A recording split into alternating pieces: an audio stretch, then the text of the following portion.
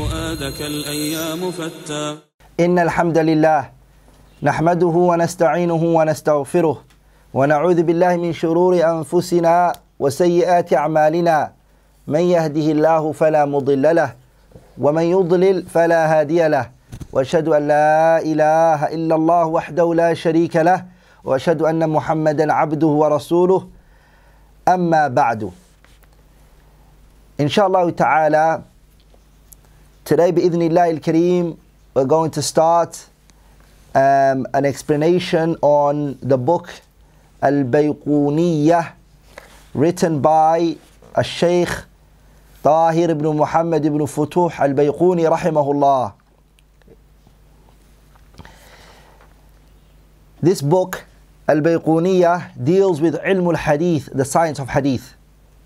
And as you're all aware of, brothers and sisters, ilm al-hadith is from min afdal al-qurubat ila rabbil alameen. Ilm al-hadith is from the greatest things um, in which a person can get closer to Allah wa ta'ala with. How is it how is that not the case? When it really is بيان طريق رسول الله صلى الله عليه وسلم أشرف الأنبياء وسيد المرسلين. How isn't that not the case when the science of hadith is to clarify, to bring to light the path of the Messenger sallallahu wasallam, the best of prophets, and the master and the leaders of the messengers. Ilm al-Hadith has gone through different stages until it reached the book we have today, Al-Bayquniyah. It went through marahil, it went through atwar, different stages and different levels and different periods until it reached a point where the ulama organized it, they categorized it, they gave it headings and subheadings, it became well organized. It wasn't like that at the beginning of when this field was first put down. Many books were written, وتعددت وتعددت وتعددت المصنفات. The books that were written became too much in number.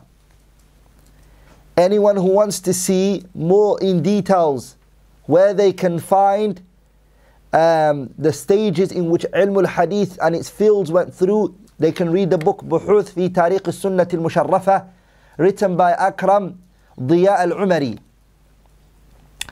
who is a doctor in Jamia Islamiya in Medina.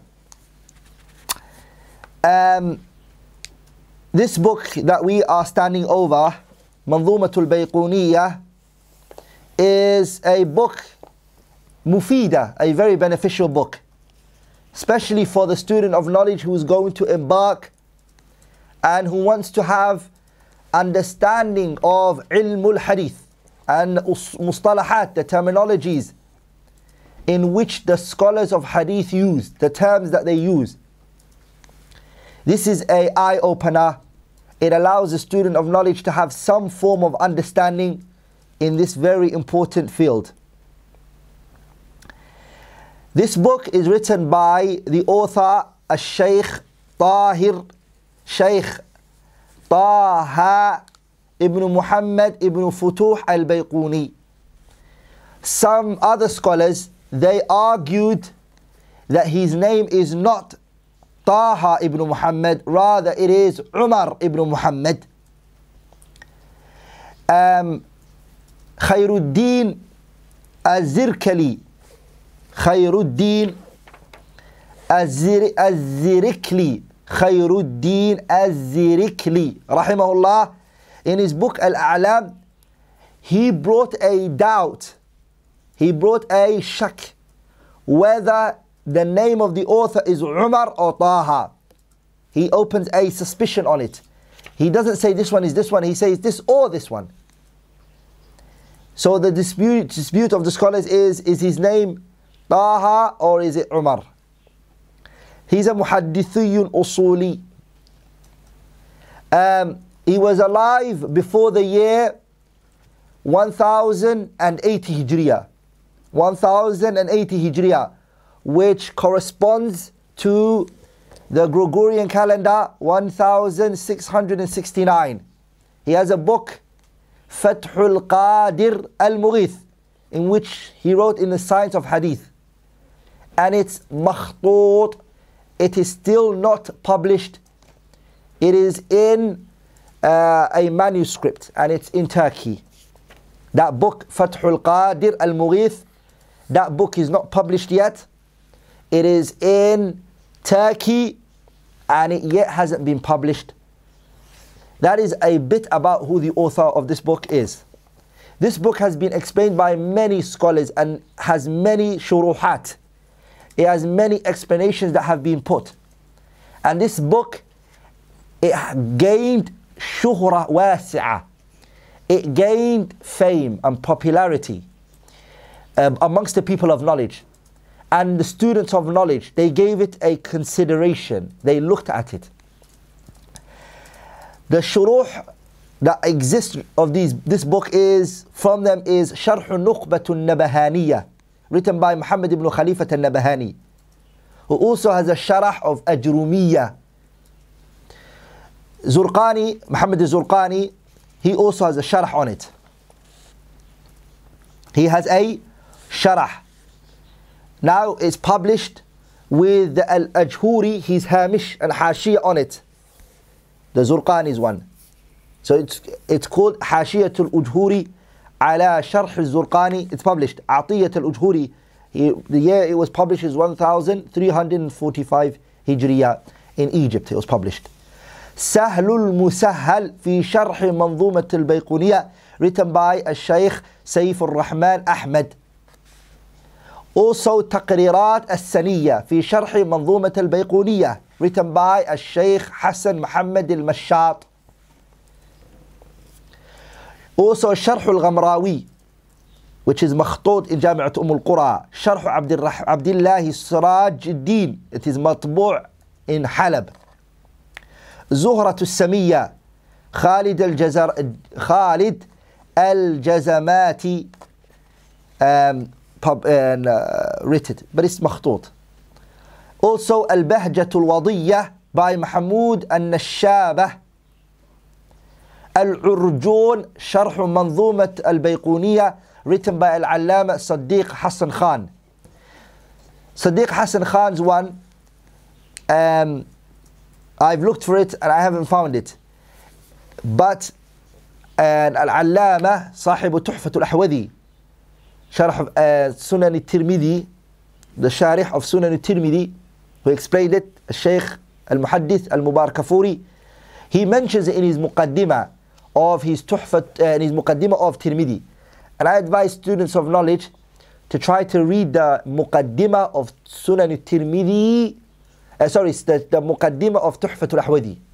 I advise the students of knowledge to read the introduction of Tuhfatul Ahwadi. Rather, rather, Dar Alam al Dar and Maktaba, um, um, Dar um, دار المنهاج دار المنهاج they published the مقدمة the مقدمة of تحفة الأحوذي separately دار المنهاج they, they published it separately and it has a lot of benefits and a lot of فوائد full of it نعم also الدمياطي شرح البديري الطمياطي الأجهوري mentioned it on his حاشية شرح الحموي أجهوري it شرح محمد بن عثمان الميرغني خير الدين الزركلي he mentions it in his علام and other than that there are shuruh a lot of other shuruh are the shuruh written by or the, the explanations are tapes Sheikh Tariq Iwadullahi, his sharah is, I can personally say, and Abil Hassan al-Ma'ribi, Ma'ribi, Abil Hassan al-Ma'ribi, and Tariq Iwadullahi, I think they have the best sharah on Bayquniya. Both of them have a, the best sharah on al-Bayquniya. Tariq Iwadullahi and Abil Hassan al-Ma'ribi. Both of them, their sharah, their explanation is the best explanation on al-Bayquniyah, according to my small knowledge. Na'am. Inshallah ta'ala, um, before we start the book, we're going to take an introduction, which is Ahmiyatul Isnadi, the importance of chain of narration. Ikhwani and akhawati, my brothers and sisters who are listening, al-isnadu khasis, uh, it is a khasisiyah, fadilatul lihadhihi al-ummah. Chain of narration, it's a virtue which Allah Ta'ala has given this ummah. It's a virtue in which Allah subhanahu wa ta'ala has specifically given um, this ummah. ولذلك this virtue or this uh, uh, unique thing for this ummah, no other nation shares it with us. وليست لغيرها من الأمم السابقة. The previous nations, they don't have chain of narration. ولذلك because of that, this ummah is referred to as what? Ummah al-isnad. The ummah of chain. Because everything of us is what? Based on what? Chain. And Imam Sufyan al-Thawri rahimahullah, as Ibn Hibban mentions in his book Al-Majruhin, that he said, Sufyan al-Thawri said, Al-Isnadu silahul mu'min. That the chain is the weapon of the believer. فإذا لم يكن معه سلاح if the believer doesn't have his weapon فبأي شيء يقاتل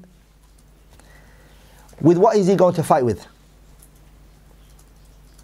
What does he want to fight with if he doesn't have a chain of narration? Or I mean sorry if he doesn't have a sword then what does he want to fight with? So the chain is like a sword. It's like a weapon. If you don't have a weapon how do you plan to fight?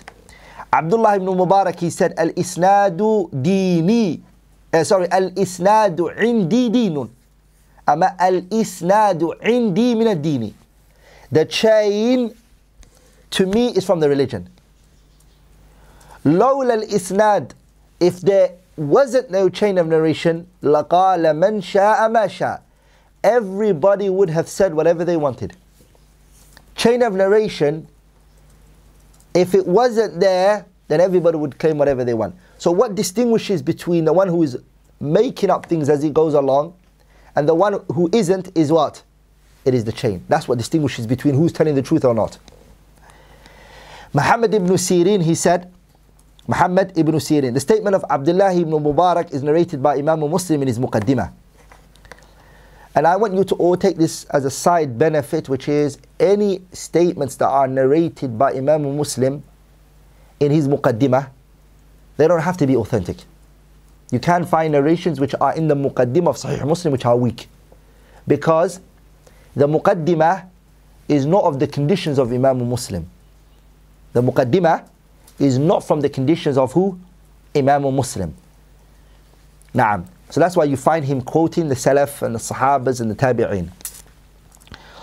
Also, um, Imam al-Tirmidhi, he narrated in his Sunan, Kitab al-Ilal, that Muhammad ibn Sirin said, كانوا في الزمن الأول لا يسألون عن الإسناد. The first generation, the generation of the Sahabas, they never used to ask each other, he said, chain of narration. They would never ask. كانوا لا يسألون كانوا كانوا في زمن الأول لا يسألون عن الإسناد. No one would say to another person, what is your chain? فلما وقعت الفتنة But when the trials and the tribulations took place, the Khawarij came out, the Qadariyah came out, the Rafid and the Shia came out who lie, the Jahmiyyah came out, the Mu'tazila came out, the Murji'ah came out, the deviated sects came out. What did it make? What did it force the people of the Sunnah to do? It forced them to what? سألوا عن الإسناد. They start to ask about chain of narration. لكي يأخذوا حديث أهل السنة so they can take the narration of the person of the Sunnah. ويدعوا حديث أهل البدع. And they can get and they can leave off the hadith of the people of innovation. They can leave off the hadith of the people of innovation. Because of those statements of Ab- Sufyan al-Thawri, Abdullah ibn Mubarak, Muhammad ibn Sirin, what, what happened? The muhaddithun, the people of hadith, they gave what? عني المحدثون بتنقيح الأسانيد والبحث فيها. The scholars of hadith, they started to give consideration and effort towards what? To cleaning the chain of narration from the filth and the dirt, purifying it, l- researching and taking time out because of the importance that that matter has for them or it has for the religion. And because that was the case, that they had to research, it necessitated what? It necessitated that they sometimes had to travel. And these scholars of hadith, قد بذل- بذلوا الجهد they put so much effort in what في تتبع الأسانيد to follow up the chain of narration they took time out and they took eff- they put effort in extreme effort حتى رحلوا من أجلها في البلاد and because of that they traveled the land and the earth they went everywhere uh, وجالوا في الآفاق they went to every corner every place where they heard there was a narration they went there الإمام البغ... uh, خطيب البغدادي الإمام الخطيب البغدادي he has a book called شرف أصحاب الحديث Sharaf Ashab al Hadith, the honor of the people of Hadith. He speaks about the things that they did. He speaks about it there. And he mentions that they what? That they traveled the world. They went everywhere to check a hadith, to compare it with what they heard, to verify from those who they were told narrated this, they went and verified it for themselves. so I advise you all to go back to Sharafu Ashab al-Hadith written by Al-Imam Khatib al-Baghdadi but here is a statement I'm going to read on all of you inshallah ta'ala which is the statement of Imam al-Nawawi Imam al-Nawawi in his book Al-Irshad in his book Al-Irshad Imam al-Nawawi said علم الحديث علم شريف The knowledge of hadith is an honorable knowledge. It's an honorable science. It is. يناسب مكارم الأخلاق ومحاسن الشيم It befits, it goes hand in hand with good etiquettes and good manners. If a person wants to gain good etiquettes and manners, that's what he's trying to say, the ilm al-hadith is a way to gain it. وهو من علوم الآخرة لا من علوم الدنيا and it is from the knowledge of the hereafter not from the knowledge of this dunya ilm hadith is from the knowledge of the hereafter not the knowledge of this dunya ومن حرمه anyone who is prohibited from this field فقد حرم خيرا عظيما he is prohibited from a lot of good ومن رزقه and anyone Allah gives him it فقد نال فضلا جزيلا he has gained a high great noble virtue he's gained it ورحم الله من قال and may Allah have mercy upon the person who said the poet who said may Allah have mercy on him ah, may Allah have mercy this statement or this poetry um, Al-Imam Al-Khatib Al-Baghdadi transmitted it in his book Sharaf Ashab Al-Hadith he transmitted these lines of poetry in the 76th li- uh, page in the 76th page that the poet said دين النبي محمد أخبار the religion of the messenger sallallahu alaihi wasallam is narrations it is news it's information نعم المطية للفتى الآثار great for an individual is what to gain the athar the texts the chain of narration that is the best riding beast a person can gain that is the best means لا ترغبن عن الحديث وأهلي don't aspire and do not want huh, anything other than hadith فالرأي ليل والحديث نهار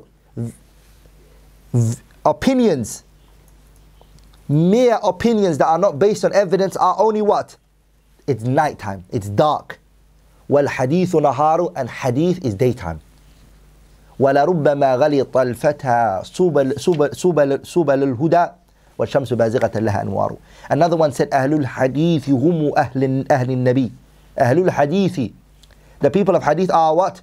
هم أهل النبي وإن The people of hadith are the people of the messenger صلى الله عليه وسلم وإن لم يصحبوا نفسه أنفاسه صحبوه If they never met, met, met the Prophet, the people of hadith are the people of the Prophet.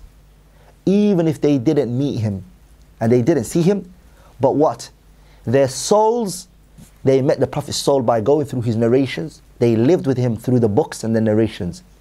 They may not have seen him, they may have not accompanied him in real life, but they have through the books and the hadith, they have lived with him. They've studied him so much that they know what he did in every situations and every different uh, issues. So brothers and sisters, um, it is important to take and learn this field of ilm al-hadith. A lot of people, they try to busy, busy themselves with other things and they think they may not need it. But it's a field where the religion has been protected through it. Inshallah ta'ala, I'm going to start the book, bi'idhnillah al-kareem, and um, and Imam al-Bayquni rahimahullah, he said, أبدأ بالحمد مصليا على محمد خير نبي أرسلا وذي من أقسام الحديث عدة وكل واحد أتى وحده The author rahimahullah ta'ala, he started his book with what? He started his book by praising Allah tabarak wa ta'ala. He said, Abda'u, I begin. Ha. Bilhamdi, by praising Allah, musalliyan ala. Whilst I am praising Allah, I'm also sending salutations on the messenger. Ala Muhammadin, on the messenger. Khayri nabiyyin ursila. He is what? the noble prophet, the finest ever sent. The finest prophet huh, ever sent. Sallallahu alayhi wasallam. Good. وذي من أقسام الحديث عدة وكل واحد أتى وحده وذي and what follows is وذي من أقسام الحديث عدة the author saying and what follows are a number of what hadith Iddah means what? Divided, categorized. وَكُلُّ وَاحِدٍ And each and every one of them Ata it has come وَحَدَّهُ And its definition has come with it. I mean, I have brought all the categories of ilm al-hadith and I've also defined it uh, for you. Now the author, he hasn't brought all the types, but he has brought a good portion, inshallah ta'ala, that allows a beginner, that allows a beginner to understand a good portion that he needs. And inshallah ta'ala, if he takes the book after that, Nukhbatul Fikr, في مصطلح أهل الأثر, and then after that he takes اختصار علوم الحديث, and then after that he goes to ألفية العراقي وألفية السيوطي, he has a good understanding inshallah ta'ala.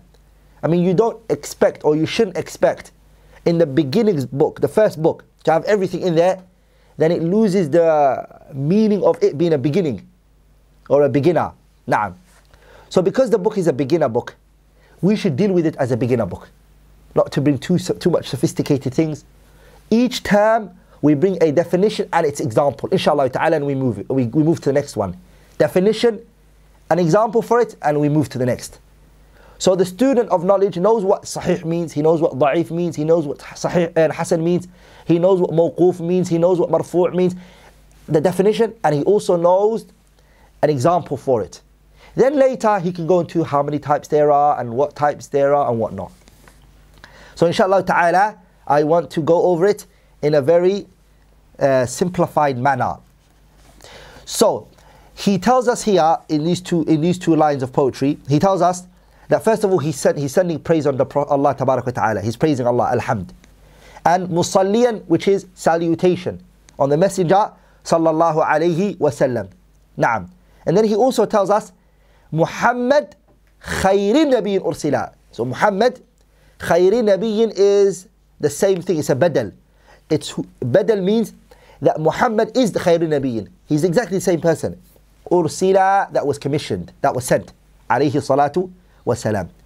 And now he, the second line he tells us that the hadiths they are divided. So they're not one thing, they're divided and there are types. Each one he tells us that he's going to bring it to us and he's also going to bring to us the definition of it. What does hadith mean? What does hadith mean? Hadith means huwa ma warada anin nabiyyi. It is that which has been transmitted from the messenger. Min qawlin in terms of what? Speech. O fi'lin or in terms of actions. Or takririn or his consent. That which he consented to, alayhi salatu wasalam. Or sifatin or a description. Description. The description is two types, sifa khulqiyya and sifa khilqiyya صفة خلقية and صفة خلقية. صفة خلقية means his etiquette and his manners عليه الصلاة والسلام. And the other one is the disc- the sifa, the other type of uh, sifa is what? How he looked and how Allah created him, the way he looked and his appearance.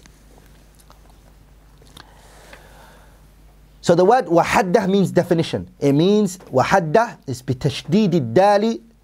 It comes from the word had a تعريف وتوضيح والبيان. It is the define. So he starts the first one by saying أولها الصحيح وهو ما اتصل إسناده ولم يشذ أو يعل يرويه عدل ضابط عن مثله معتمد في ضبطه ونقله The author starts by saying أولها أولها here means what? The first of the types of hadith أولها that ha goes back to al-hadith The first type of hadith is what? As-sahih. Sahih means authentic. As-sahih means what? Authentic. And we're going to learn what it means when a hadith is authentic. What does it mean? أولها الصحيح. Sahih is وهو it is. وهو is what? أي الصحيح. The sahih is متصل. The sahih is the narration that is connected. متصل means اتصل means when the chain is connected. أيه. إسناده its chain of narration. متصل إسناده. Its chain of narration is connected. Good. ولم يشذ أو يعل. ولم يشذ. شذ means what? And there is no shudud. Shudud is to contradict, opposition. The, and we're going to speak about that in more, inshallah, details. So the first condition of sahih is what? That it's connected. أولها أولها الصحيح وهو ما اتصل The chain is connected. Good. The chain. إسناده is checked. ولم يشذ And there is no contradiction. Narrators are not, op- uh, uh, there's no opposition. Or there is not a narrator that has separated from the rest. There isn't. أو يعل or there is not a defect which is hidden. Hidden fault or a hidden defect. There isn't. Good. That is also what? So if you think about it, the author on the first line, on the third line we're on, on the third line, the author has told us one thing that is sahih and two which are that shouldn't be present. Um, so he tells us, sorry, rephrase that again. The author tells us something that we have to come with, which is for it to be sahih, which was what? Mattasal. Its chain has to be connected. Good. The second thing that he's told you, tells you is that something that it should stay away, stay away from, which is what? وَلَمْ يُشَذَّ There's no opposition. Good. وَأَوْ يُعَلْ Or there isn't no hidden defect. So two are absent. Keep that two on, on somewhere. Keep it with you. And remember the one thing that should be present. Good. Yarwihi. It is narrated. Now we're looking at the people who are narrating it. The narrators who are narrated it, they also have to have two things. The first one is adlun. He has to be a reliable one. The one who is being narrated from, and the one who is narrating it, and the one that's passing it, who is passing it on to, from the beginning of the chain to the end of the chain, everyone has to be reliable. That's the fourth one. The fifth one is dabit. The memory has to be very strong. So we have five things now. If you've all been paying attention, you will realize that the author mentions three things that have to be present and two things that have to be absent in order for the hadith to be what? Authentic. What are the three things that have to be present? The three things that have to be present is the chain of narration is connected. One. Two. Number two, it is that the narrators are all reliable. That has to be present. Three is that every narrator has to have good memorization. The memory has to be very strong. When those three are present, okay, and these two are absent, what are the two that are absent? There is no opposition of a other narration. It shouldn't contradict another narration. There isn't no contradiction to another narration. One, that's absent. Also, there isn't a hidden defect. There isn't a hidden defect. Those two absent and those three present, this hadith is then referred to as what? Sahih.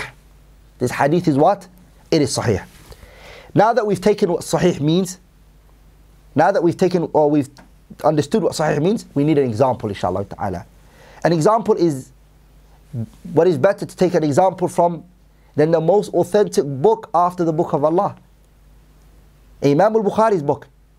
Because Bukhari's hadith in his Sahih, they meet these conditions. Imam al-Bukhari said, حدثنا عبد الله بن يوسف عبد الله بن Yusuf told us that's his sheikh قال أخبرنا مالك Abdullah ibn Yusuf the first person so Bukhari is narrating it from Abdullah ibn Yusuf that's the first person Abdullah ibn Yusuf took it from who? Imam Malik Imam Malik took it from who? Ibn Shihab al-Zuhri Ibn Shihab al-Zuhri took it from who? He took it from Muhammad ibn Jubair Muhammad ibn Jubair took it him, from his father, Jubair ibn Mut'im. Jubair ibn Mut'im. So we have five individuals in that chain of narration. We have five narrators there. All of them are reliable. All of them, their memory is on point. So those two conditions of the narrators have been met. The chain of narration is connected. Abdullah ibn Yusuf narrated it. He heard it from Malik. Malik heard it from Muhammad ibn Shihab al-Zuhri. Muhammad ibn Shihab al-Zuhri heard it from Muhammad ibn Jubayr ibn Mut'im. And Muhammad ibn Jubayr ibn Mut'im heard it from his father, Jubayr ibn Mut'im. Who then heard the Prophet sallallahu alaihi wasallam and Jubayr ibn Mut'im heard it from the messenger that the messenger sallallahu alaihi wasallam said or more like that the Prophet recited. He heard the Prophet recite Surah Tur, Surah Tur in Salatul Maghrib. So this chain from the messenger to Imam al-Bukhari, every individual met one another. And each and every one in the chain of narration is reliable. Everyone is reliable. So the conditions, two of them have met, been met. The chain of narration is connected. Hiya, the chain of narration is all connected. Also, all of the narrators are reliable. The third thing was what? All of the narrators, their memorization is on point. Three have been found now. Now, the two other missing ones are what? Is there a hidden defect? No, there isn't.